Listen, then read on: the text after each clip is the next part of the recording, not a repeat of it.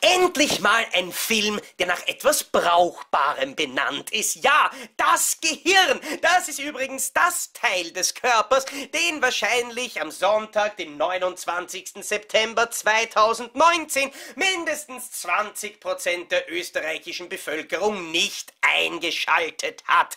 Oder gar nicht besitzt oder gar nicht verwenden kann. Ich weiß es nicht, aber ich wäre auf jeden Fall dafür, dass irgendwann einmal tatsächlich etwas davon nach unten regnet. Und wenn es tatsächlich nur Mediabooks von dem Film sind, die nach unten regnen und der ein oder andere vielleicht davon so ein bisschen ausgenockt wird. Weil man sagt ja, starke Schläge auf den Kopf könnten das Denkvermögen so ausschalten war das. Naja, lassen wir das. Wir sehen auf jeden Fall hier das deutsche Blu-ray Mediabook zu dem Film Das Gehirn.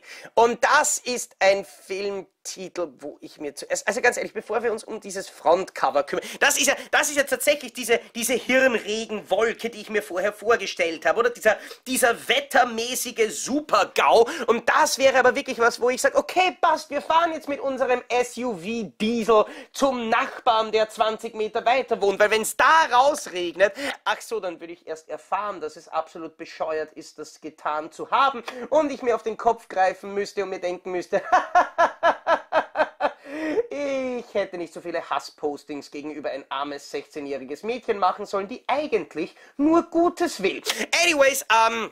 Jetzt einmal ganz fernab von Leuten, die nur Gutes wollen. Wir merken bei dem Mediabook Designer, dass man hier offensichtlich nicht mit einer wahnsinnig hochwertigen Vorlage arbeiten hat können. Man sieht vor allem eben bei den Häusern und bei dem Auto hier unten schon eine sehr, sehr grobe Struktur. Die erinnert zwar zu einem gewissen Grad an eine Leinwandstruktur, hat allerdings auch ein paar leichte Anfälle von Kompressionsspuren und von ein paar ungemütlicheren Nebeneffekten. Es ist definitiv kein hässliches Cover. Es ist eines, das man sich aus der Ferne sehr, sehr gut anschauen kann und das jetzt keine wahnsinnig störenden Nebeneffekte bietet. Es ist halt eines, das bei sehr, naher Betrachtung sehr wohl die ein oder andere Schwäche offenbart. Zum Beispiel dieser große Uncut-Hinweis, auf den ich gut und gerne verzichtet hätte. Wir bekommen übrigens ein Mediabook, das ebenfalls wieder diesen Ledereffekt hat. Auf dem Backcover geht's dann allerdings schon richtig los. Wir sehen einen Screenshot, der diesen Film absolut äh, perfekt beschreibt. Filmtipps.at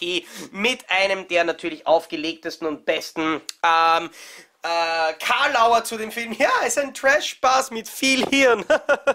und wenn ich mir wirklich diese äh, Screenshots hier anschaue, dann weiß ich, Bass, das ist ein Film, den ich definitiv gesehen haben muss. Das könnte ein Film absolut nach meinem Geschmack sein, wo ich mich jetzt schon freue, einmal nach innen blicken zu können. Wir haben natürlich die DVD, wir haben die Blu-ray mit jeweils demselben Motiv, wir haben dann auch noch dasselbe Motiv mit dem äh, englischen Originaltitel, wäre ich jetzt nie drauf gekommen, als Booklet-Cover und ein durchgehendes Artwork, offensichtlich von dem hungrigen Gehirn.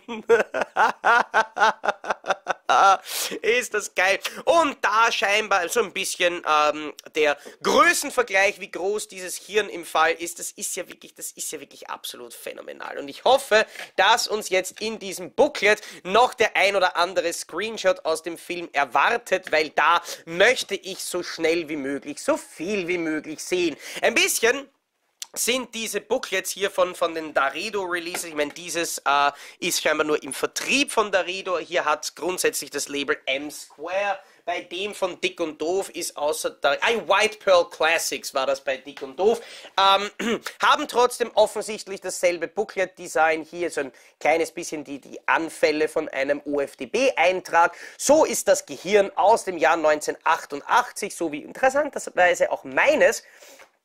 Äh, mit. also ich, ich kann ja fast nichts sagen, außer What the hell am I looking at? Aber YouTube wird sich definitiv freuen über dieses Video. Das ist unpackbar. Ist, und ihn kenne ich. Das ist unfreaking fasslich. Ich freue mich riesig auf den Film. Ich hoffe, dass ich, wenn ich ihn gesehen habe, euch ein Filmreview dazu auch noch liefern kann, weil das ist definitiv ein Gewinn für jede Sammlung und ich hoffe, dass mich der Film nach dem, was ich mir jetzt erwarte, von ihm dann nicht enttäuscht.